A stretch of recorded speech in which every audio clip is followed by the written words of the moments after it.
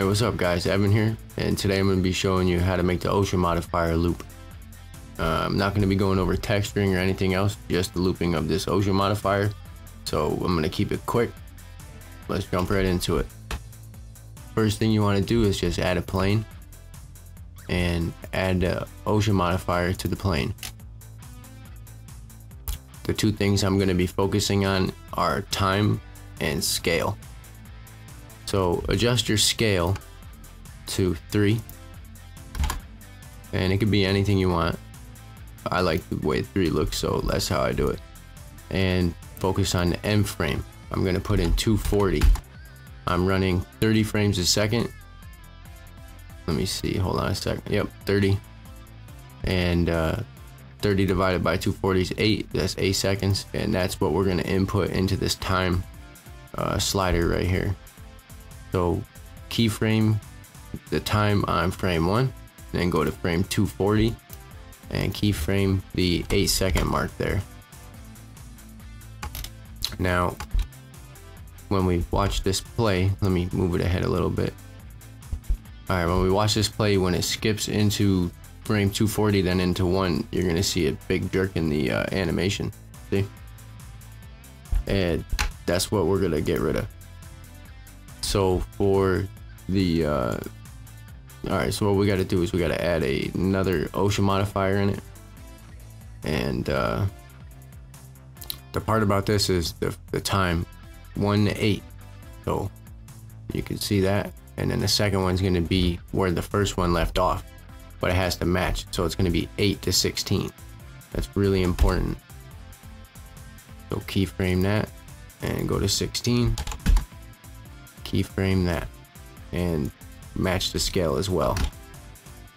Now we have two modifiers and you notice the end frames are a lot different and that's because the second modifier has to be set to displace.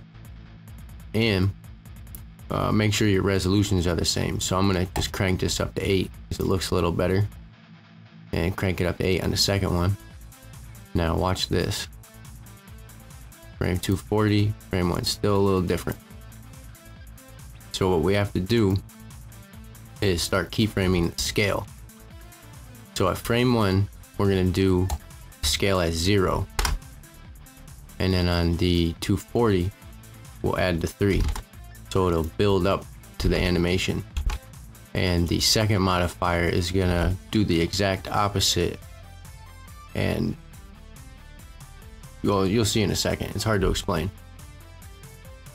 all right so we're gonna keyframe one and we're gonna keyframe to three and on the end we'll make the second one go to zero so it's the exact opposite. Let me uh, expand this a little bit so you can see it better.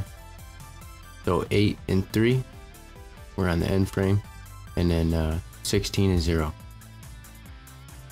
And notice how both end frames are the same. That's a good way to check it.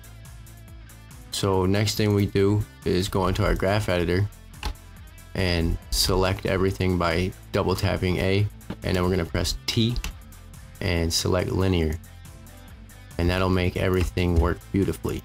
So let's let the animation play through. Actually, let me skip it ahead a little bit. All right, watch what happens when it goes. There we go. Perfectly seamless looping animation. So the first one, remember, is the 1 to 8 and then the scale always starts at zero for the first one and then builds up into three. And then the second one does the exact opposite for the scale. So at the time you want the first one to be one to eight and the second one's gonna uh, pick up where the first one left off. So 8 to 16 it'll play so that's how you make the ocean modifier loop. I hope you found it helpful. Any questions, I can just update or make a new tutorial to make it better. So, um, yeah, drop me a comment or something. Hope that helped. All right, have a good day, guys. Peace.